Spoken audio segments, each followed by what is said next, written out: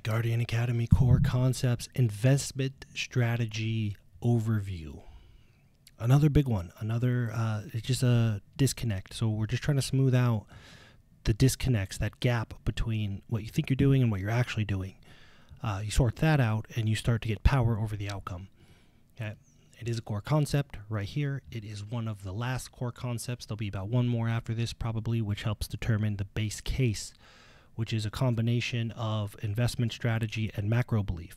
So make sure that you have uh, been through the macro belief overview. You're going to want a macro belief, you're going to want to understand uh, base strategies, and then you can develop your base case, which is your overall kind of operating system, the, the general assumption that you are operating from that is developed by combining your solvable problem, your macro belief, and the strategy that you believe will be the highest efficacy for what you're trying to accomplish.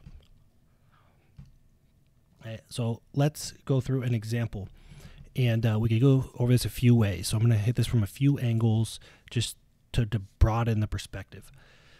Let's say your friend invested um, you found out they made millions and millions and millions of dollars and they invested in Tesla. So you think outcome bias. So go back to brain sludge. You go, huh, this guy knows what he's doing. I'm going to invest in Tesla as well. Well, here is what we don't know. And here is all the reasons you could invest in Tesla that all have very different implications. First is you could bet on some criteria. So maybe Tesla met some predetermined criteria. It's this kind of company in this industry uh, it's this old, it's this mature, etc., etc. So you could bet on a single asset based on a predetermined criteria, like a value investor. Uh, but you could also bet on Elon Musk. So maybe he had Tesla because he believes very strongly in Elon Musk.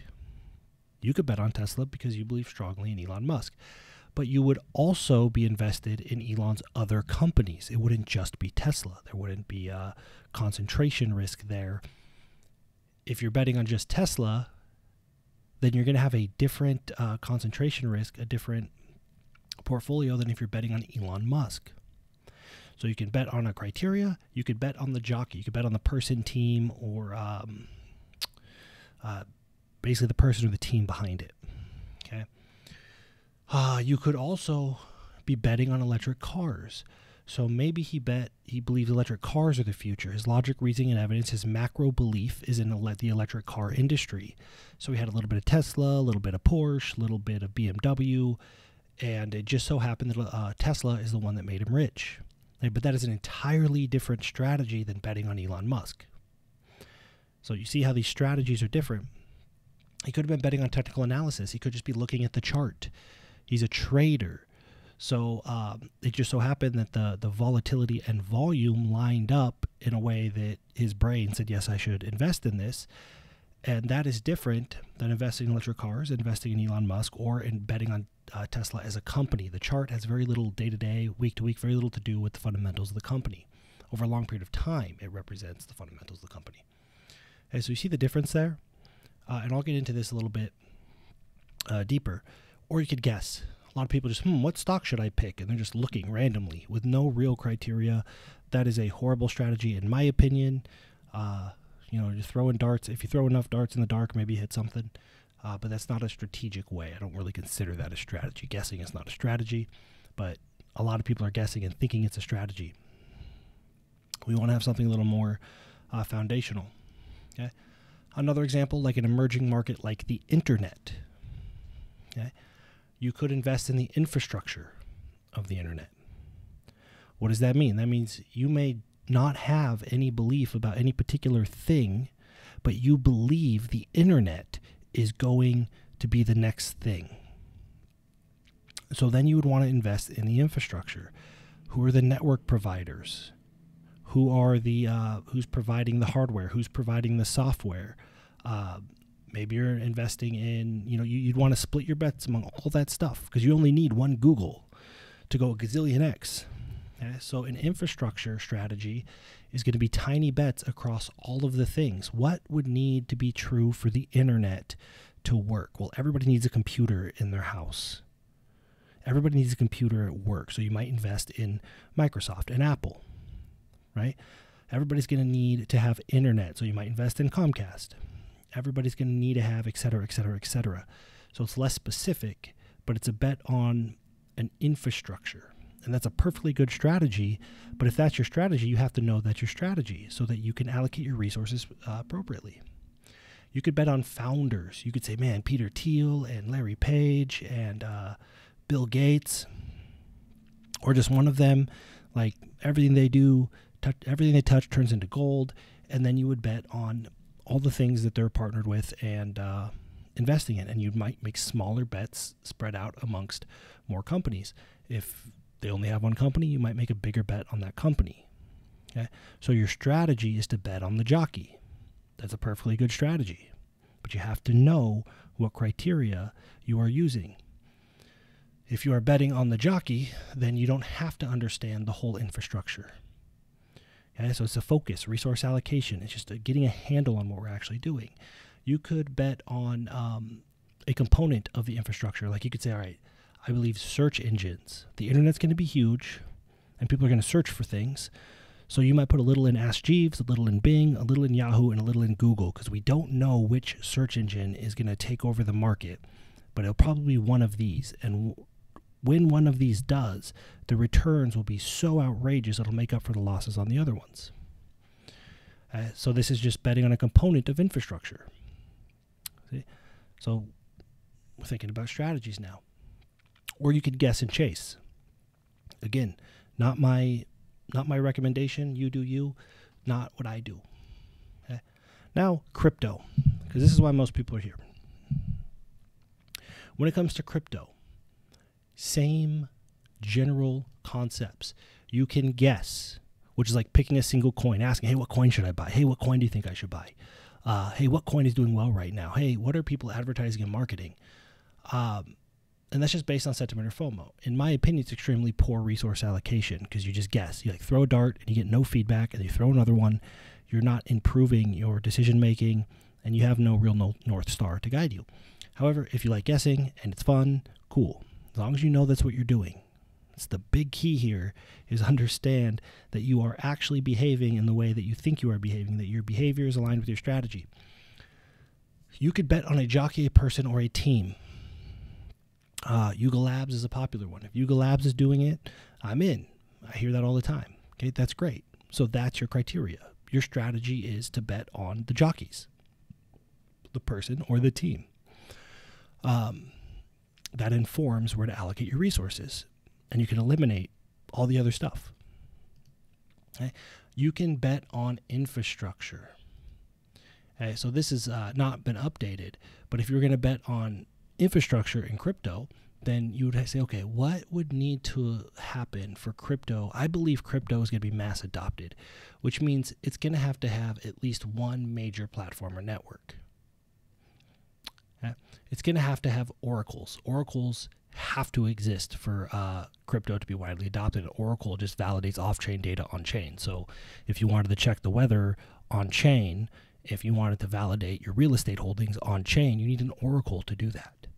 Okay, and or- Oracle bridges the gap between off-chain things and on-chain things. Uh, DeFi, you would actually need like um, financial protocols. You know, uh, Compound, Chainlink is an Oracle. You see uh, Ethereum and Polygon, Kusama, Elrond, Cardano are all platforms and networks. Again, it's extensive now. There, there's quite a bit more than when I first spun this up. Uh, I believe NFTs and media will be huge, while Theta and Enjin. Theta is like Amazon Web Service of, of DeFi. People will need to be able to exchange their crypto. So Uniswap, OneInch, NightSwap, KuCoin, um, all these exchanges. You might want to spread your bets amongst a few of them because we never really know, right? FTX just went under. You never really know which one is going to survive and, and become the big thing. Uh, and if your strategy is to bet on the infrastructure, you don't need to know a currency. Bitcoin's actually a network. I think of it as a currency. What else would need to uh, be mass adopted for mass adoption of crypto is insurance, right? So you might want to get a little insurance, a little bit. Uh, you know, I just like Bitcoin in general. You might want to get some exchanges. You might want to get some NFT engines. You might want to get some oracles. You might want to get some networks and platforms spread across evenly. And you can do the math and, you know, so you got a million bucks, I'm going to spread it evenly, or you can weight them or do whatever. But you got to know that's what you're doing so that you can direct your energy to that strategy.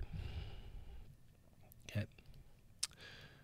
Uh, you can bet on components of an infrastructure, and this is actually um, mostly what I do is because we build so much on the blockchain that I pretty good understanding of how things work, where value accrues, uh, trading fees, all that stuff. So you could bet on components of an infrastructure. That would be, you know, like saying um, a single, like farming. You can say, I really like the idea of farming, and here's the criteria that I use to farm. So you could just bet on single components. It's like uh, search engines for the internet. You could bet on just exchanges. You could say, um, you know, platforms. I'm just going to focus on platforms because honestly, if crypto is going to work, like Uniswap sits on Ethereum, Polygon sits on Ethereum, Theta sits on Ethereum. So you could say, I don't have the bandwidth or time, or I don't want to manage all this. I'm just going to bet on Ethereum, or I'm just going to bet on Polygon, or I'm just going to spread my bets across networks because no matter what, all of this has to sit on a network, right? A chain. That would be just a component of the infrastructure. You're just spreading your bets amongst networks, or you're just spreading your bets amongst exchanges or insurance protocols.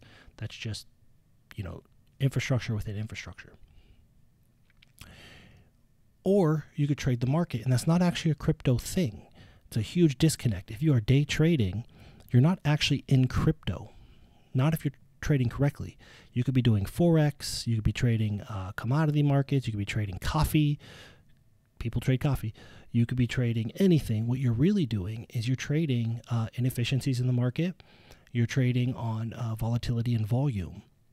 So if you're just a day trader, the fact that it's crypto is irrelevant. Doing a bunch of research on crypto doesn't help you at all. Trade volatility. Um, so some of the best traders, some of the people that crush it in day trading crypto don't know anything about Web3. They don't have to. They allocate their resources to understanding uh, technical analysis, volume, volatility, et cetera, et cetera.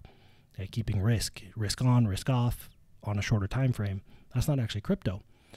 So, just as an example, if you are doing a whole bunch of homework and betting on uh, you know, infrastructure or a single project or components of infrastructure, and you're also sitting here trying to day trade, your strategies are not aligned. Your your resources and energy is not going to the to modifying your behavior appropriately. And so we got to know what we're doing.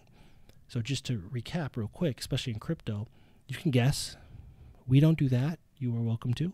Uh, you could bet on a jockey, the person, or a team. You could bet on infrastructure, and you can bet on things with inside infrastructure, components of an infrastructure. Okay? Uh, and inside of that, you could love farming, but then you could only you could like farming uh, stables on high volume platforms, et cetera, et cetera. Okay, this comes to your macro belief. What is your investment strategy, though? It's a good question to ask because there's a lot of ways to do this, and somebody might hit it big with Google but unless we know what their investment strategy was, we cannot actually model it. The logic, reasoning, and evidence. Were they betting on the infrastructure? Were they betting on all search engines? Were they betting on Larry Page? Like, I don't know. What was the strategy that led to this win? Got to figure out what your strategy is. Okay, so the risk is uh, behavior not aligning with strategy. It's uh, thinking you're a value investor, behaving like a trader. You can't win that. The feedback loop is broken. A value investor has a different feedback loop than a day trader. Uh, somebody betting on a team is going to have a different feedback loop than somebody betting on uh, individual token for some reason. Okay, so understand there's a there's an array of strategies. They can be combined, but by and large, we want to understand what are we actually betting on, what are we actually investing in, so that we know where to do our homework, where to put our attention, and how to build our feedback loops as to whether or not we should continue to uh, deploy the strategy. Again, live to learn, give to earn. We'll break down in the in the tiers inside the wolf pack. We start to break down our macro beliefs, uh, the strategies that we deploy. Strategies sometimes change with the market, but for the most part, um, we use strategies to enhance our macro belief. So our, our macro belief is guard BUSD. So any strategies we deploy are to acquire more guard BUSD. Okay. Um, don't have to do that. You could just, you know, if, if you have a strategy that is invest in infrastructure, you can just make a one-time bet or you can DCA in and forget about it and wait. And it'll probably turn out really, really well. Or you can actively deploy strategies to acquire more of your macro belief. Uh, but as per usual, live to learn, give to earn. Think about what you think you're doing and then pay attention to your behavior. Um, what strategy are you actually deploying? What are you actually betting on? And is it aligned again with your macro belief, your time preference? And then share with others. Share your experience, share your takeaways, share your aha moments, share the, th- the things that maybe you weren't aware of and now you are because there's going to be other people in a similar position and you may help them. And we'll see you uh, at the next video and we're going to dive into uh, the base case. Now that you have a macro belief and an overview of strategies, you can start thinking about what is the base case, which again is just the amalgamation, the combination of um, macro belief, solvable problem, and uh, appropriate strategy.